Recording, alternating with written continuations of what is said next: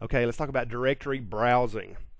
What this is, the premise of it is has a funny story that goes along with it, and you may have suffered through another video where I've told the same story. Um, it begins with me talking to one of my little geeky buddies on IRC, and we're chatting, and um, he says that he bought a new motorcycle and he wants to show me pictures of it. I'm like, well, that's cool. So he gives me the link, and let me um, tell you what. Let me bring up a uh, something to write on. Okay, I thought this would go better with, with some actual examples. A buddy of mine, I won't tell you his name, was uh, wanting to show me a picture of his motorcycle.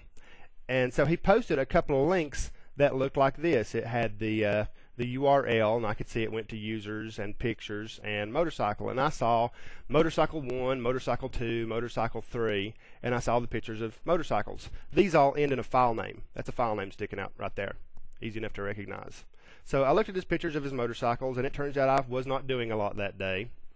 And what I did was scrape the um, file name off there and leave this link with a trailing slash. What does that do? Yeah, if if there's not a default document in there, like an index.html or default.html, something that's in that list of default documents, Windows is going to say, well, there's not a default document. Then it has to make a decision. Do I let them just see the entire directory or not? Well, my friend had not turned that off. So I did that, clicked enter, and boom, I've got a listing of all of his what? Pictures. So I'm going click, click, click, click, click. Oh, this is fun. And in a couple of minutes, I'm not thinking anything about it. I'm all innocent. I'm typing back into the channel saying, hey, who's this girl in the green shirt at the party? Well, he took exception to my nosiness and informed me that I was being very nosy and related that to if uh, if he had asked me to get something out of a drawer at his house, would I just go digging through the entire drawer? So apparently he did not didn't appreciate that very much, and um, within the next few minutes he had directory browsing turned off on that directory. So just in that silly little story, you can see that directory browsing can be a security hole, especially if you open it up for a big subdirectory underneath something. So directory browsing is something that can be really handy in the right place. And it's the, the kind of thing you really need to, to look at and think about before you do it. Kind of like starting a fire. Before you start a fire, you should think about it. It can be great, but it should be in the right place. You don't want to start one out here in the hallway. You want to have, have it in the right place. Um, what, what, uh, what it would be handy for is, let's say I've got all these videos and in the like the second Linux class, the guys in there said, you know, we'd like to have access to some of the old videos. And I didn't want to go through and do a web page where they could link on every one of them. So what I did was just set up directory browsing on a directory to say, okay, if you click on this, you just see a listing of all the videos, and you can just pick and choose and click on whatever you want. And I'm okay with that. I also don't have any subdirectories under that that they could go digging around in. So let's see how this actually works. Okay, what I've done is, there's my server page, and I've gone to inetpub www root, just using the default page.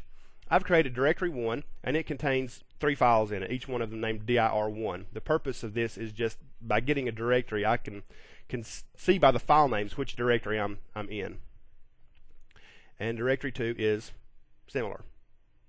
My code looks like this. Some more of my beautiful code. Just something to bring it up, and I've done an href of dir1 slash. Okay, since I don't have anything right there before the quotes, I'm not pulling it from anywhere else. It has to be in the current directory. The trailing slash is our giveaway here. Anytime you throw in a trailing slash, that means a directory. So there we go. Now, let's see if this actually works. Now, I, I, haven't applied directory browsing one way or the other in Windows. So, first thing we need to do is test this without putting any kind of filtering on it. Command IP config, and I am 254.125. Going to hop out, going to bring up a web browser, 254 try to get this clicked on. There we go. 125. Was that right? This is my directory browsing example. So what this is going to tell us is, okay, by default, does Windows 2000 Server IIS7, does it have directory browsing turned on? No. To their credit, that's a good idea. You don't want it turned on by default. I think in the past that might not have been the case. So there we go. That's good. Let's go back to our window. Make another point. Is there an index.html in that directory? No. Is there a default.htm? Is there nothing that would look like a default document? That's just some, some junk. So let's go start programs, administrative tools, and get up to IIS Manager. Okay. I'm going to navigate to my default site. There's my default website, and here's all the stuff for it. Um, double click on directory browsing. I could, directory browsing has been disabled. I could enable it right here, but do we want it for the entire website? No, that's a bit blunt of a tool. I'm going to go just to directory 1. Notice right here, directory 1 home. So just specifically for this directory, and notice I've got all these other options I can also set for directory 1. Um, directory browsing, and I am going to enable it just for directory 1.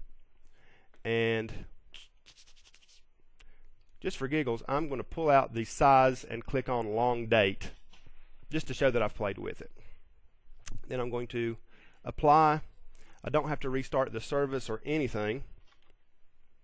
I'm going to go back out to my browser and I'll do a shift reload. I don't really have to reload the page. The page, the HTML code of the page didn't change, did it? The rights changed. Directory 2 didn't work. Directory 1 works. And now all I've got to do is just click on one of these and boom, I've got it. I don't have anything in any of them, but that's it. Notice that missing is the file size and it does give a very long listing. So that's cool. If I wanted to, I could go back now to directory 2, directory browsing. Notice it's turned off as it should be by default. Okay. Let's um, look at this. Default documents. There is your list of default documents. What is a default document? That says if you don't supply a, a file name. Go digging through this list to find out what you would pull by default. So if I say website.com, boom, it's going to list a default document. And you can add and you can remove these however you want to.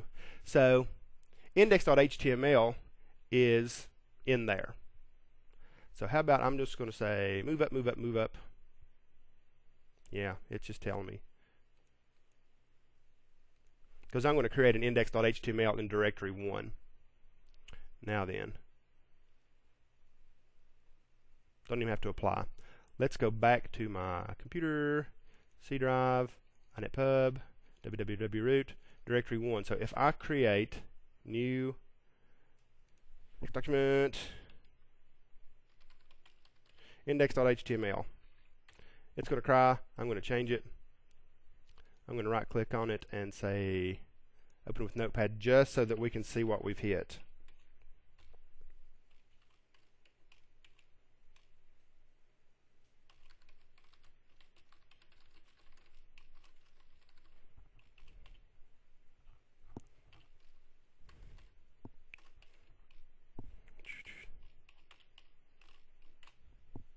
Control S to save. Another example of my lovely code. I hop out now, go to directory browsing. If I hit reload, pow. Now I don't get directory browsing. How come? Because it found my default document. If it finds a default document, that takes precedence over getting a, a directory. All right, one last little step just to kind of play with it. In that's my file system. I'm back in the IIS manage er. Um, default website directory one. Directory one can have each directory cat can have its own default document. So if I double click on this, I can go through and say remove. Yes. click remove yes and it won't let me select all of them because this is kind of a goofy thing to do anyway remove. Yes. But it proves my point. Remove. Yes. Now I have no default documents in that directory. So when I go back out the index.html is still there if I want to click on it and look at it. But since it is not listed as a default document anymore, I have no choice but to make a decision on whether or not to offer a a directory of the a listing of the directory in this one. In this case, it's turned on, so it worked. That web config, um, that's something new with with uh, Windows 2008. Okay, there we go. Okay, one more thing to add. We noticed, and I overlooked this, we did the directory browsing on directory 1 and talked about the default document and I went through and I went to all the trouble of pulling all those out and what's kind of a bummer about that is you'd have to recreate them but you also have revert to inherited bloop which would pop them all back in there so that's cool but instead of going through and deleting all of them there looks like there's a better way you can just say disable the default document and it gives you some pretty good little things there. So let's see if we actually did what we think we did. Yeah, it worked. So, all right, that should be it.